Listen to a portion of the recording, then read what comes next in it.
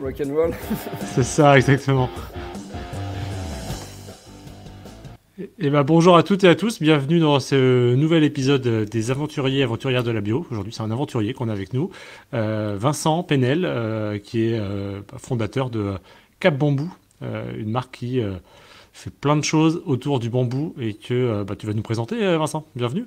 Salut Simon, merci de, de m'accueillir et de me donner la parole sur le, sur le bambou.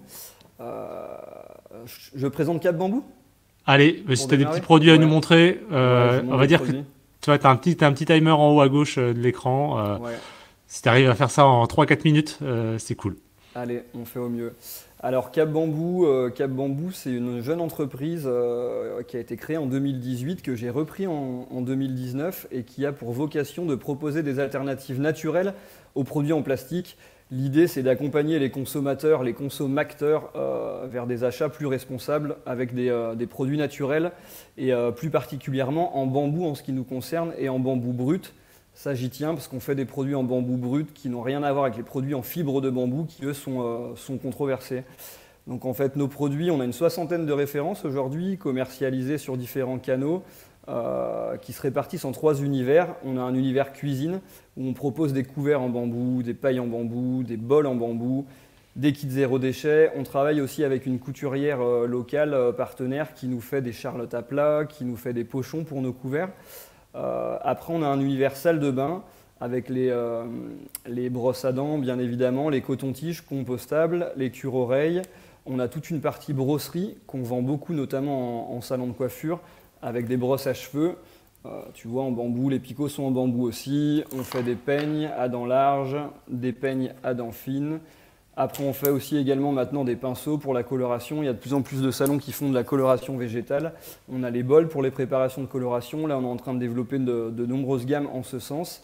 Et enfin, on a une gamme puériculture euh, des produits pour les enfants en fait, hein. des sets de repas pour les bébés, euh, des sets de repas DME pour la diversification alimentaire menée par l'enfant, avec les petites ventouses qui évitent les catastrophes. Euh. Oh oui. ouais, tu connais ça. Moi j'ai trois filles, donc c'est testé approuvé. C'était facile de faire les tests, les tests à la maison. Donc voilà. Et du coup, au niveau de la fabrication, on voit vraiment le, bois du bambou. C'est quoi la particularité du bambou brut? Comment vous, enfin, c'est quoi le processus de fabrication en fait? Alors en fait déjà pour les, consommateurs c'est facile de différencier le, bambou de la fibre de bambou. La fibre de bambou en fait ça a plus l'aspect du plastique en fait. Pourquoi c'est controversé? Parce qu'il y a plus de colle finalement que de, que de bambou. C'est du bambou qui est broyé en fait, la fibre de bambou, et après qui est aggloméré avec des colles. Donc en fait, sur des montées de température, c'est pour ça que la Commission européenne a d'ailleurs interdit l'année dernière la vaisselle en bambou à destination des, euh, petits, parce que sur les montées de température, notamment sur les mugs, euh, il pouvait y avoir de la mélamine, de la formalide qui, euh, qui, passait dans, dans, les liquides. Donc nous, on n'est pas concernés, hein. on voit vraiment la différence, c'est un aspect de bois en fait. Les produits, soit hmm. ils sont taillés directement en fait dans les branches de bambou, le bambou mosso, c'est pas le bambou qu'on connaît, qu'on a ah, chez nous. Un hein. bambou. Ouais, ça c'est un chaume de bambou, donc c'est un chaume de bambou mosso mais italien. En Italie, il commence à y avoir des bambous qui commencent à être, euh, à être costauds, à être gros. En Chine, en Asie, ils font euh, deux, trois fois ce diamètre. Donc ils sont beaucoup plus gros. Et du coup, ça permet de tailler les produits directement en fait, euh, dans, l'épaisseur de bambou ici. Alors que la fibre de bambou, ce n'est pas le cas. Donc nos produits, comme je disais, soit ils sont taillés directement dedans, soit c'est lamellé-collé. Donc on a une dose qui est, qui est infime de colle. Et finalement, on n'est pas, pas concerné par les interdictions sur la vaisselle en bambou. Top. Et au niveau commercialisation les magasins qui peuvent acheter vos bambous, c'est, enfin les, vos produits en bambou, c'est des magasins bio, les magasins vrac. Tu parlais de salon de coiffure. Euh, au départ, Cap Bambou a, débuté sur le e-commerce. Hein. C'était un petit e-shop avec, euh, avec trois références. Euh, il y avait les pailles au départ, il y avait les cotons-tiges et les couverts.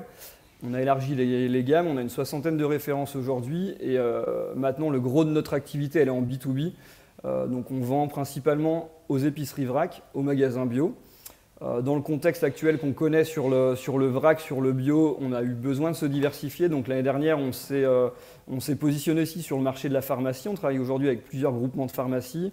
Euh, là, on est en train de rentrer dans le monde de la coiffure qui, qui, tend de plus en plus vers le naturel. ma conjointe est associée, Eulalie est issue du monde de la coiffure, donc on, se sert de son réseau aussi. Euh, et, d'ailleurs, nos brosses à cheveux, aujourd'hui, nos peignes sont vraiment des best-sellers. C'est les produits qui se vendent le plus euh, et en magasin bio, épicerie vrac et en coiffure. Et après, on travaille de plus en plus avec des concept stores, des kit stores. On est aussi, on a mis un pied dans le quick commerce. Mm. Euh, parce qu'on sait que ça va se développer. En fait, on suit un petit peu les, les- les tendances du marché. Donc, on, on a un, un pied en, en étant chez un acteur euh, important du quick commerce. Euh, on se développe en B2C sur les marketplaces. On essaye d'être un, petit peu de- un petit peu de partout. Vous naviguez, je sais pas si tu as vu la vidéo, mais euh, avec Sauveur Fernandez, où il parlait Ouais, de naviguer dans l'océan e-commerce. Vous êtes un- des bons navigateurs. C'est exactement ça. On essaye d'être un petit peu de, de partout, de suivre les tendances du marché. Et ce qui est, c'est- j'imagine que, enfin, c'est un cercle vertueux parce que finalement, là, ça fait connaître la marque et du coup, les magasins qui vont jouer à la marque euh, peuvent s'appuyer sur une marque qui a quand même une notoriété qui dépasse le simple réseau ça. euh, du Moi, au magasin. départ, j'ai très naïvement, en fait, j'avais peur. Le site était un site vitrine. Euh, Nous, on l'avait passé en site vitrine et avant qu'ils soient en e-commerce, parce que j'avais peur que, que les magasins avec lesquels on travaille, les épiceries vrac partenaires, les petits magasins bio indépendants, soient contrariés du fait que les gens achètent, euh, achètent, euh, puissent acheter directement sur notre site. Alors, ce qui n'est pas du tout le cas, ça amène de la notoriété. Aujourd'hui, il nous arrive de faire de la, hum, de, de la vente privée, des choses comme ça. Au début, j'étais très très euh, réticent. Maintenant, on le fait, euh, on fait des ventes éthiques, ça nous permet de gagner en notoriété et les gens vont racheter les produits en magasin derrière. Donc finalement, l'un Ouais, dans l'autre, tout le monde cercle, retrouve. un cercle vertueux. Top. Bah, merci pour ce pitch. 6 minutes 24, franchement, pas mal, bravo. Ouais, ça va. J'ai pas trop débordé. Il y en a certains qui font 12 minutes, hein, donc euh, Ouais. je ne citerai pas de nom. Euh, du coup, on peut passer sur la, bah, la deuxième partie, le, la bamboculture Allons-y. et le développement d'une marque. Alors là, désolé pour les titres. hein, c'est- Ouais, non, mais il y, cherche a des idées, il y a tellement hein. de choses à dire. Il y a tellement de choses à dire. Euh, donc toi, si j'ai bien compris, euh, c'est une marque. Euh, enfin, t'étais pas forcément au tout démarrage, si j'ai bien compris ce que tu as dit. non, Euh, alors comment t'es arrivé là-dedans et quel est ton parcours? Alors mon parcours, moi au départ, je suis commercial. Je suis un pur commercial, prospecteur, développeur. J'ai travaillé dans, le, dans la PST, plomberie sanitaire chauffage, donc pour le compte d'un grossiste au départ. Après, je vendais du solaire. Donc je me suis rapproché, rapproché un petit peu de, de- l'écologie et, du bon sens. Après, j'ai travaillé pendant 9 ans dans, chez le leader européen du traitement de l'eau. Et, euh, et en 2016, j'ai fait un burn-out, le vrai burn-out, celui qui te met, euh, qui te met KO par terre, Ouais. parce que j'étais très matérialiste, euh, j'étais un fonceur et, et, et mes amis, mes proches m'appelaient toujours plus jusqu'au jour où le, le corps te rappelle à l'ordre et, te, met, te met par terre pour la petite histoire. Et, Genre, tu t'es- tu t'es pas levé un matin, quoi. C'est ça le. Ouais, ouais, et ça a duré quelques semaines, quelques mois. Je pouvais plus parler, plus me déplacer. J'ai perdu énormément de poids. Enfin, c'était le, vraiment le, le, blo- le- le- Et c'est la meilleure chose qui me soit arrivée parce que pendant cette période-là, j'avais trois enfants entre temps en, bas âge.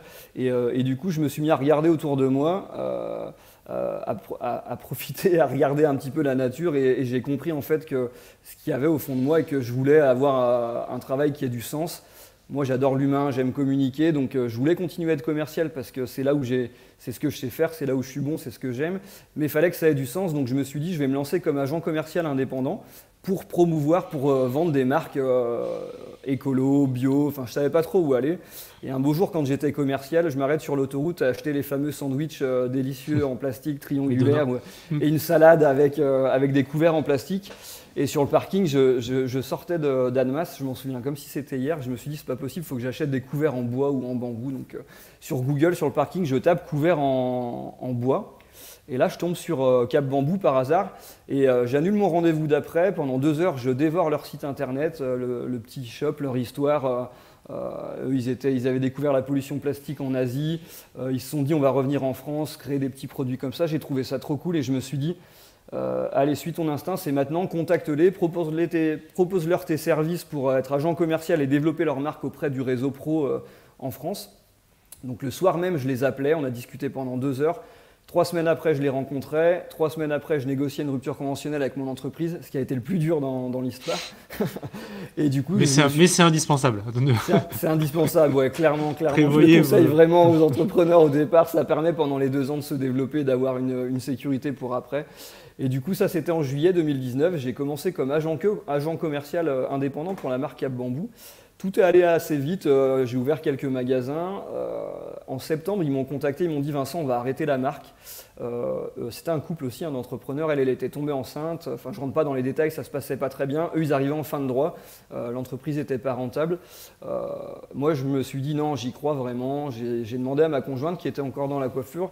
Je lui ai dit est-ce que tu pars dans l'aventure avec moi? Je rachète les stocks, je reprends l'entreprise et, feu, on lance Cap Bambou, on va s'éclater, ça va être trop cool. Et, et c'est parti comme ça, tu vois. Et depuis octobre 2019, j'ai repris l'entreprise. Il y avait 60 revendeurs à peu près en France, un tout petit chiffre d'affaires. Aujourd'hui, on l'a multiplié par 20. Deux ans après, on a à peu près 800 revendeurs en France, en, Europe. Donc aucun regret sur, sur le développement, même s'il y a plein de mmh. difficultés et qu'on fait face à plein d'aléas et, et, que la période est, est délicate. Mais c'est vachement intéressant parce que très souvent, les entrepreneurs qu'on interviewe, enfin que j'interviewe, c'est des gens qui ont eu l'idée et qui ont lancé leur projet. Euh, J'avais pas encore eu en fait de reprise comme ça. Et en effet, la reprise, on sait que ça peut être bah, des super success stories comme ce qui t'arrive, mais ça peut être aussi difficile. C'est quoi tes. Qu'est-ce qui a ton. Enfin, est-ce que tu avais déjà fait des reprises d'entreprise avant? Qu'est-ce que tu as des conseils à faire sur comment choisir une entreprise à reprendre? Est-ce qu'il faut attendre une opportunité? Est-ce qu'il faut la chercher? En fait, euh, moi, je pense qu'il faut surtout s'écouter soi-même et, savoir ce qu'on a envie de faire et, euh, euh, et, surtout dans le commerce, dans le développement commercial. Moi, j'étais commercial, je l'ai vite compris en fait. Si je performais dans mes précédentes entreprises, c'est parce que je croyais dans le produit, je, croyais dans ma façon de, de le développer, d'en parler. Et là, en fait, ça m'est paru naturel. je me suis renseigné sur le bambou. si, si tu es OK, on en parlera un petit peu après sur le, champ des possibles qu'offre le bambou. Et je me suis dit, c'est vraiment la plante de demain. Après, je me suis intéressé très tôt pour aller plus loin à la géopolitique, à, la crise climatique, aux défis climatiques qui nous attendent. Et je me suis dit, ouais, euh, le bambou, ça a vraiment du sens en fait, parce que euh, ça va être une plante qui va permettre la reconversion des agriculteurs euh, demain quand ils seront trop touchés par le réchauffement climatique, pour les viticulteurs aussi parce que ça résiste à moins 20 degrés, parce qu'il y a très peu d'entretien, parce que ça offre plein plein de possibilités. Et je me suis dit, quand bien même je le fais sur mes petits accessoires aujourd'hui, et demain on fera peut-être d'autres choses avec ce bambou-là. Et euh, je ne me suis pas trop posé de questions en fait, parce que quand on s'en pose trop, finalement, c'est là où, euh, euh, où, on est plein de doutes. Et, la, boîte, quand tu as eu l'opportunité, tu n'as pas regardé uniquement sa partie économique, tu t'es dit, le projet, dans 10 ans, tu crois. Enfin, tu penses que ça va être une, une c'est quelque chose qui a de l'avenir 10, euh, dans 10, 20 ans. Enfin, le, ah, le bambou, clairement, dans, après, le, nous, nos produits, les accessoires, oui, euh, mais, mais, plus le bambou dans sa globalité pour, euh, pour aussi d'autres d'autres champs d'action. Mais clairement, le bambou, c'est une plante d'avenir. Et, euh, d'ailleurs, aujourd'hui, enfin, euh, même pour l'alimentation, il y a 2,5 milliards de personnes aujourd'hui dans le monde qui mangent du bambou régulièrement. En Occident, c'est pas le cas. en Asie, ils fabriquent tout avec du bambou, ils échafaudent avec du bambou, ils font des constructions avec du bambou. Il y a, tellement de choses à faire avec le bambou mosso. Et c'est tellement facile à cultiver que, dans le contexte euh, aujourd'hui même de, besoin d'être indépendant, je pense que le, bambou aura, sa place, j'en suis euh, convaincu. Ok, vachement intéressant du coup de se dire, euh, bah, on cherche pas juste des boîtes et des projets économiques, on cherche des choses, enfin on cherche des, des, secteurs et des, des, des, des, produits qui vont avoir, qui vont remplir un rôle dans la transition forcée et contrainte à mon avis surtout du bon sens, quoi. Parce que moi, je, me veux euh, militant, partisan du bon sens. D'ailleurs, notre logo, il est, euh, il est euh, tu vois, c'est un petit panda qui est, qui est, militant, qui monte ses fesses. Et Cap Bambou, c'est Cap vers le bambou. Et il porte son morceau de bambou comme un, comme un acte militant sur le fait qu'on n'aura pas le choix de, travailler avec des produits naturels parce que les ressources ne sont pas éternelles et parce qu'aujourd'hui, il va falloir se, enfin, demain, il va falloir se débrouiller un petit peu plus seul, quoi je pense. Ok. Et donc, euh, j'ai mis bambou culture et ton projet. Donc, du coup, on comprend comment tu es arrivé dans le bambou. Euh, et là, maintenant, ton, ce qui t'anime, euh, on en a parlé avant, hein, c'est bah, comment, comment relocaliser, enfin, comment, comment travailler, enfin, la bambou, se lancer dans la bambou culture en, Europe. Qu'est-ce que, en fait, c'est ce quelles sont vos actions? C'est ce qui m'anime et c'est ce qui est le plus compliqué aussi. Là, on est en plein dedans, donc, euh, euh, on, manque de, moyens, euh, on manque de, temps, d'argent, mais j'y crois dur, comme fer et on, trouvera des solutions. En fait, l'idée, ouais, c'est de relocaliser. Aujourd'hui, on le voit dans le contexte géopolitique encore plus que jamais. Moi, ça me conforte dans mon idée qu'à un moment donné, il va falloir ramener les, ressources ici. déjà, pour démarrer, pourquoi, pourquoi on ne fait pas avec du bambou français? Parce que ce bambou-là, ce bambou géant, euh, il ne pousse pas en France pour le moment, euh, en tout cas pas à l'état de, culture. Euh, et, par contre, il y a une plantation qui a été faite dans les années 2000 en Bretagne, et, ça a poussé sans aucun entretien, sans irrigation, et aujourd'hui la plantation elle est magnifique, il y a un hectare de bambou, donc on sait que ça pousse de partout. Il y a des plantations qui commencent à être faites en Belgique, etc. Donc l'idée c'est de relocaliser euh, d'accompagner euh, les agriculteurs, les viticulteurs qui vont être, euh, qui vont être touchés par le réchauffement climatique vers une reconversion, vers un produit qui est simple à, cultiver.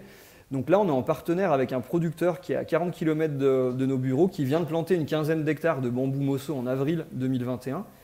Donc c'est pas nous qui avons planté, hein, c'est lui, mais on est, en, relation étroite avec lui. Il est hyper intéressé par notre projet et euh, il y croit dur comme fer aussi.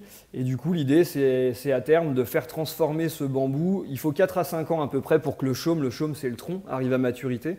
Donc là, il reste euh, à peu près 3 ans. Et après, on a rencontré déjà des tourneurs tabletteurs dans le Jura, donc aussi à côté de chez nous, puisque nous on est dans l'Ain, à Bourg-en-Bresse, donc un tout petit peu plus haut les gens qui font déjà des brosses à dents en bois de hêtre, euh, des choses comme ça, mm. après en bambou, ils seront capables de le faire. C'est un bois qui est hyper résistant, qui est beaucoup plus souple, donc en plus ce sera, euh, ce sera pas facile, mais c'est possible, c'est possible de le faire. Euh, après, il y a plein de, contraintes aussi. Pourquoi? Parce que le bambou il est creux, donc c'est pas comme un arbre, un tronc. Hein. on en fait des planches et après on taille dedans. Là, en fait, il faut le couper en six, le recoller. Enfin, il y a plein d'applications qui sont un petit peu plus compliquées. Mais il y, a un, vrai avenir euh, sur, le, bambou mosso. Et là, euh, pour la filière française, là où ce sera hyper intéressant, c'est que le bambou est utilisé dans le textile aujourd'hui, euh, dans le bâtiment, pour l'isolation. On peut faire des pellets de bambou. J'ai vu que tu avais une chaudière à granulés d'une super marque que je commercialisais avant. À Buche. Ah, bien sûr. Je connais très très bien. Je connais très bien. Donc il y a une filière de bambou sur la production de cellulose aussi qui est à mettre en place. On sait qu'on n'aura pas de perte, qu'on pourra le réutiliser euh, dans, plein de champs d'action. Et au, niveau de l'alimentation, en Italie, ils l'ont bien compris, ils ont de l'avance sur nous, ils ont planté déjà 2000 hectares. Donc l'idée, nous, c'est de faire aussi avec du bambou euh, italien à terme. Eux, ils vendent les pousses de bambou dans l'alimentation et, euh, et c'est hyper bon. Euh, ça a plein de propriétés. On fait du pesto de bambou, des crackers de bambou, donc on peut tout faire sur l'alimentation. Euh, c'est hyper bon à la santé, c'est riche en acides aminés, en protéines, en antioxydants. Donc en plus, il y, a, un produit qui est quali, qui est bon, qui est sympa et qui est novateur. Donc il faut s'attendre dans les années à venir à voir des produits d'alimentation en bambou arriver sur le marché alimentaire bio. Et comment on fait pour, pour, pour, participer à ça? Parce que c'est vrai que quand on parle, c'est hyper excitant comme, euh, comme perspective. Est-ce que vous avez fait un, je sais pas, un crowdfunding pour, euh, pour, euh, pour planter des hectares? Ou est-ce que vous avez un système de poursuite enfin, pour nous en, tant que consommateurs Il y a une très grosse entreprise qui s'appelle Only Mosso qui est déjà présente, en, qui a des pépinières en, en, Italie et qui développe tout ça, qui va à la rencontre d'agriculteurs, de viticulteurs pour parler de reconversion justement dans le, dans le mmh. contexte climatique qu'on connaît. Donc euh, nous, l'idée, en fait, euh, à terme, c'est d'attendre déjà un petit peu que, d'avoir des chaumes qui nous permettent de faire des prototypes. Donc une fois qu'on aura des chaumes qui nous permettent de faire des prototypes, on va lancer des premières petites séries euh, chez les tourneurs tabletteurs dans le, dans le, Jura, voir ce qui est possible de faire, de lancer une première gamme française, enfin française, au moins européenne avec des, des produits italiens. Et une fois qu'on aura des bons prototypes, un produit qui tient la route, là, on lancera une campagne. L'idée, c'est de lancer une campagne et puis de, trouver des, euh, d'en parler sur les salons. On fait le salon euh, du mmh. VRAC, euh, du réseau VRAC chaque année, sur Natexpo aussi, de, présenter quelque chose de plus concret dans les mois, dans les années à venir. Ok. Et si des agriculteurs écoutent et se disent, bah, moi, je suis prêt à en planter, ils peuvent, ils peuvent te contacter du coup? Agriculteurs, investisseurs, partenaires de régions, de l'État, on prend, on prend tout ce qu'il y a à prendre. On a besoin d'aide parce que ça prend du temps. Aujourd'hui, dans l'entreprise, on n'est que deux, hein, parce que finalement, on vend de l'accessoire, donc on n'est pas sur des produits de, récurrence, de réassort, etc. Euh, on fait un petit peu tout à deux. Après, même si on sous-traite certaines, certaines choses, mais euh, et comme on est en croissance, qu'on se développe, euh, on, est, on, est, on manque de temps, on manque de, de plein de choses. Mais bon, on s'éclate et puis, et puis j'y crois, j'y crois à fond. Top. Et bah du coup, le... on va essayer de passer sur, sur un parti, une partie un peu débat. Euh, donc toi, vous, vous essayez de relocaliser. Donc on a compris en Europe, en Italie, euh, et peut-être dans 4 ou 5 ans, quand vos mosso auront poussé euh, dans l'Ain. Est-ce que ça, c'est... Enfin, on a compris avec ton parcours que c'était une une volonté et une prise de conscience personnelle. Euh, est-ce que c'est quelque chose qui est demandé par les consos et est-ce que c'est quelque chose qui est demandé par les magasins euh, Et est-ce que, en général, il y a un écart de prix entre, ben, imagine un bonbon asiatique et un bonbon européen. Est-ce que toi, tu, tu, tu, constates que les acteurs, enfin la partie commerciale de, de, la chaîne est prête en fait à payer à ce surcoût Ou est-ce que c'est une complexité? C'est une complexité. Après, il y a plein de facteurs qui rentrent en jeu. Aujourd'hui, l'écart, il se rapproche aussi parce que le coût du transport, il a explosé. Le coût du container. Nous, on fait venir nos produits par le train ou par le, bateau. Par avion, ça n'aurait pas de sens. On pourrait le faire, hein, ça irait plus vite, mais, mais sinon, on est, euh, ça n'a pas de sens. On livre nos produits, j'en ai pas parlé, mais dans des cartons de seconde vie qu'on récupère dans des commerces autour de chez nous. On utilise du calage en amidon de maïs. Voilà, on fait vraiment tout pour, euh, pour avoir du, euh, du bon sens. Donc la relocalisation, ça fait partie de ce bon sens, ça fait partie de la demande de nos clients. On a pas mal d'épiceries vrac euh, qu'on rencontre euh, qui veulent faire que du Made in France, qu'on comprend aussi. Euh, après, il y a la, problématique de prix. Pour certains canaux, pour certaines cibles, il faudra garder notre filière asiatique qui est, top dans le sens où on travaille avec une, entreprise de sourcing, un cabinet de sourcing lyonnais qui nous accompagne. Donc on a un cahier des charges qui est hyper strict, on ne fait pas n'importe quoi, on ne travaille pas avec des usines qu'on ne connaît pas ou, des choses comme ça. Donc cette filière, elle est en place. Après, clairement, on ne maîtrise pas tout non plus. Euh, on sait que, c'est un pays qui est hyper carboné, la, Chine, donc euh, les usines fonctionnent avec des centrales à charbon, donc ça on le sait qu'il y, a quand même un coût carbone qu'on limite avec le transport, qu'on limite avec les propriétés naturelles du bambou mosso. Il faut savoir que ce bambou géant, il capte 5 fois plus de CO2 que n'importe quel arbre et il rejette 30% d'oxygène en plus. Un hectare de bambou mosso est capable de capter 1000 tonnes de CO2 par an. Parce que c'est plus dense, c'est quoi la raison? Parce que ça, ça pousse de manière très serrée? De manière très serrée et surtout ça, pousse hyper vite en fait. En 4 hmm. à 50 et tu arrives à maturité. Donc déjà ça pousse 10 euh, fois plus vite que n'importe quel arbre aussi. Et une fois que le, chaume est arrivé à maturité, il va capter le, carbone et après il n'est pas rejeté quand, on l'utilise dans l'ameublement, dans Il faut l'utiliser, c'est ça. S'il est brûlé, forcément bah, c'est neutre. Mais... Euh. Forcément, mais quand on l'utilise dans nos, typologies de commerce, nos produits ou dans la construction, je prends un exemple que j'aime bien, à l'aéroport de Madrid, le plafond c'est 200 000 m2 de bambou. Quoi. Donc euh, on ne se rend pas compte, mais finalement euh, sur, euh, sur un édifice de cette taille, on a, on a capté énormément de CO2 qui est emprisonné pour toujours dans... ils ont peut-être compensé 0,1% de leurs émissions avec les avions. C'est bravo, bravo Madrid.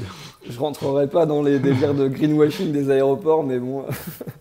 non mais voilà pour la petite histoire. Donc après, clairement, la filière, les produits, on les gardera. Peut-être qu'on fera une marque avec mm. cette filière asiatique, et après on fera une marque un peu plus premium, euh, un peu plus cher forcément euh, sur, euh, sur du local. Parce que c'est ça le débat, c'est que bah, il y a deux, enfin, des boîtes qui veulent faire que du relocalisé, que du made in France. Parfois on en voit.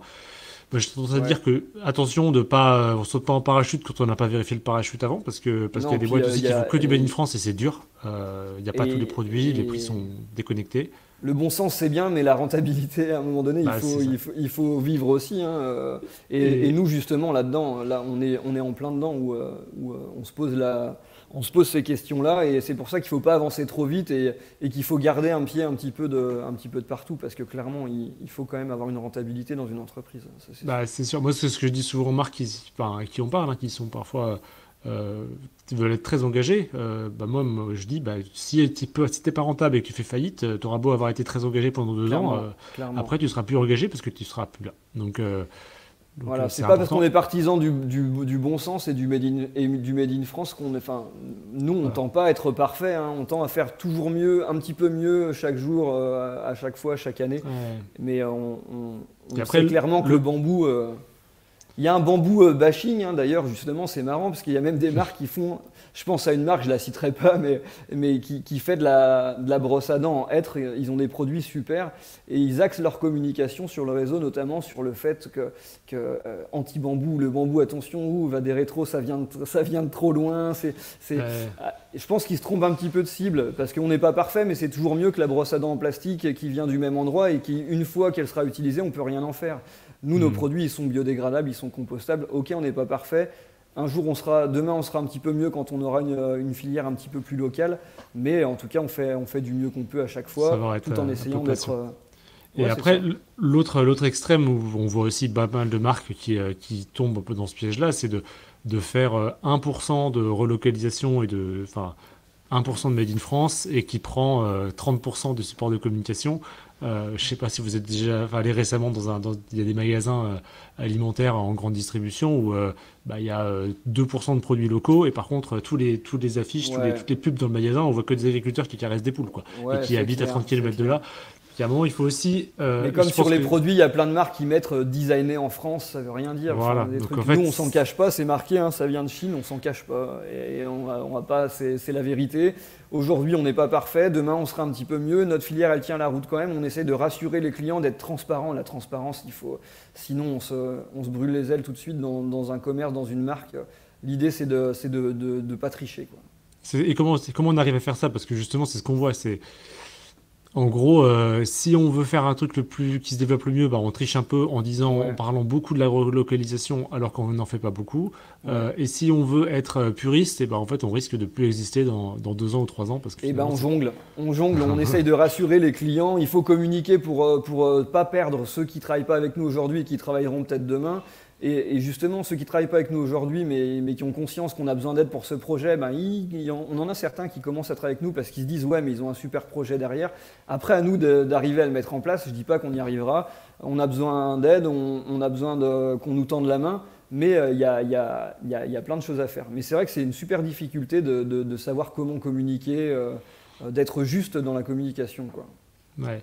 Ce que je Enfin, je sais pas si, enfin, c'était un peu lancé des perches, donc on peut un peu le relayer, mais c'est cette idée aussi de, de, faire ça de manière collective. Euh, une entreprise qui fait partie d'un écosystème d'entreprises euh, qui essaye de soutenir une cause, bah, je trouve que c'est toujours une façon de montrer que on est à la pointe du combat, on n'est pas parfait parce que rien ne l'est, on essaye de faire mieux, mais mieux ne veut pas dire que c'est parfait ou que c'est bien. Euh, ça peut être encore pas terrible et mieux. Euh, est-ce que ouais, euh, tu lances un appel un peu aux autres boîtes qui, veulent travailler le, bambou brut avec vous euh, donc tu ouais, clairement, clairement, parce que le, le, le, bambou, en plus, ça offre tellement de possibilités et de reconversion, ça permettrait de créer des emplois. c'est hyper bon pour les sols parce que ça préserve les sols de l'érosion en fait. Hein. Des fois, on a l'image du bambou qui, qui, qui, va chez les voisins, qui pousse de partout, mais, mais quand c'est bien géré avec des tranchées, c'est facile à mettre en place. On peut faire tellement de choses avec le bambou. Euh, et il y a tellement d'entreprises qui travaillent le bambou finalement, hein, que ce soit dans, dans, les cosmétiques aussi, euh, dans la pharmacie, parce qu'il y a plein de produits de, cosmétiques qui utilisent du, euh, dans les shampoings, dans les choses comme ça. Donc, donc, et où est-ce qu'on peut trouver des pousses de bambou mozo? Parce que là, je suis chaud, hein, nous on a quelques hectares et j'ai très envie de tenter d'en planter, planter, un peu. On en a déjà du. Ça se trouve où ça? T'en trouves euh, un petit peu de, partout. Tu peux regarder chez. Euh, il y, a une personne qui est passionnée, il y a un expert du bambou en France euh, qui, a un site internet qui s'appelle Bambou en France. Et tu trouveras des. ouais, il est, il est, vraiment top. Je suis en contact avec lui et justement, il, travaille en, en, partenariat étroit avec Only Mosso aussi. Et, souvent, les pépinières sont en, sont en, Italie pour le moment. Mais il y a plein de projets. Hein. Il y a des projets en Belgique, il y a des projets en France, euh, en Bretagne, en, Moselle. Euh. on n'en entend pas trop parler, mais dans les années à venir, le, bambou, ça va, ça va envoyer du lourd. ça va être chouette. Je, vais partager l'écran. Jonathan, si tu peux nous montrer. Je trouve ça cool de faire un peu de donner un peu de visibilité à d'autres boîtes qui n'étaient pas, qui pas prévues au programme. Mais là, bambou en France, du coup.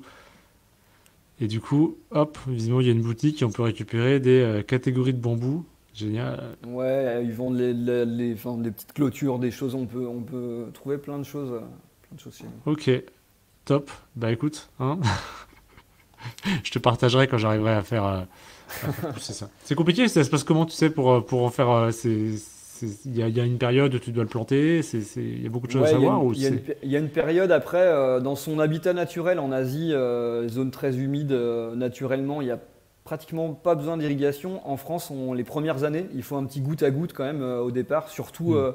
sur la période mars à mai. Euh, après, il faut les protéger des, lièvres, des campagnols, enfin comme toute culture, euh, il faut faire des tranchées euh, autour pour éviter que les rhizomes aillent, chez, les, chez, les, voisins. mais finalement, c'est bon. C'est pas si c'est pas si compliqué que ça et, et ça pousse hyper vite. c'est hyper gratifiant là, les, hectares qui sont à côté de chez nous. J'y suis déjà allé deux fois pour, pour les voir et, et ça pousse bien, ça, ça, ça, climate hyper bien. là, c'est dans les Dombes, donc les Dombes, c'est la région des mille étangs. Euh, il euh, y, a de la flotte, donc euh, du coup c'est un climat qui, qui, correspond bien.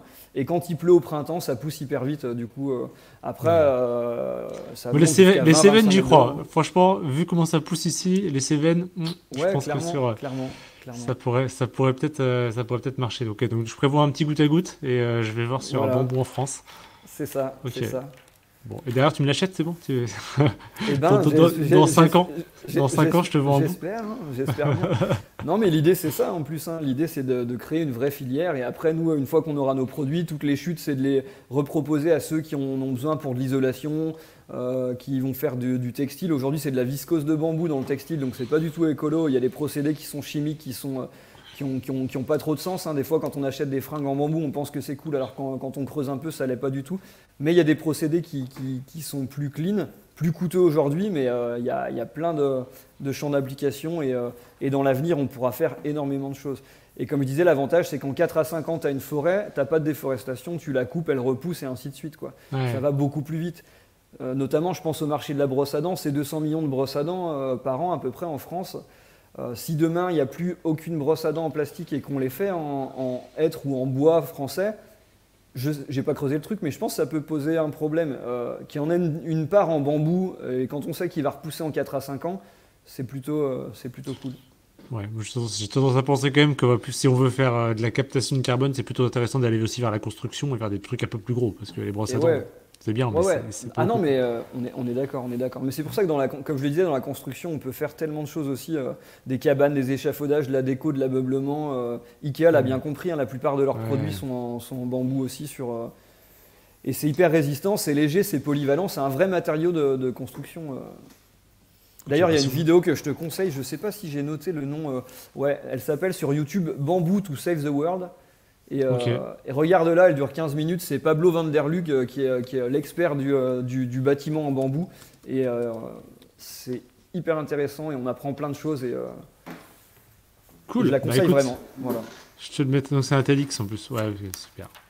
Bon, bah, je, te, je mettrai ça en. Bah, les gens pourront taper hein. Bamboo to Save the World pour regarder. Voilà regarder la vidéo. Et bah écoute, euh, merci beaucoup. On voit bien que c'est un chemin qui.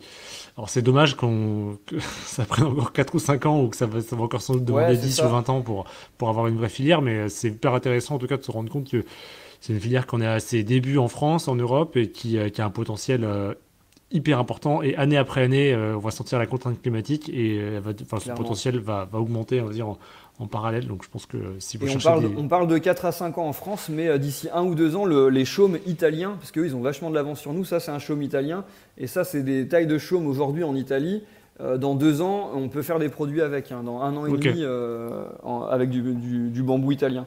Donc nous, on va pas attendre que le bambou français pousse, on, ira voir les Italiens et on. S'il en reste, parce que j'ai l'impression que ça, ça risque de devenir. Euh, enfin, les gens vont vouloir quoi. Je pense que ouais. Après, ils ont planté 2200 hectares, donc c'est déjà pas mal. Hein. Et comme ça pousse vite, il y a, y a, plein de choses. Euh. En tout cas, je suis ça de très près et j'espère être dans le, dans le coup. ça marche. Bon, compte sur toi. J'ai pas trop de doute sur le fait que tu y arriveras.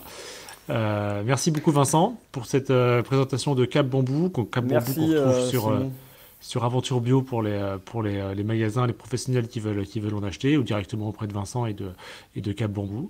Euh, et un petit appel aux magasins en, avant-première, on est en train de bosser ah, pour nos best-sellers. Nos, petits best-sellers, c'est nos brosses à cheveux qui ont un, super rapport qualité-prix et on a besoin d'un petit présentoir et ça y est, on a le premier prototype où on pourra présenter nos brosses de cette manière. Voilà, dans les petits présentoirs, faire des rangées, ça va être hyper cool. Donc d'ici l'été sur Aventure Bio. Regardez ça, on essaiera de le remettre dans la newsletter. Euh, trop bien. Bah, merci beaucoup Vincent et puis euh, bah, à bientôt. Merci Simon, euh, c'était cool de me laisser la parole. À bientôt. Bah, avec plaisir.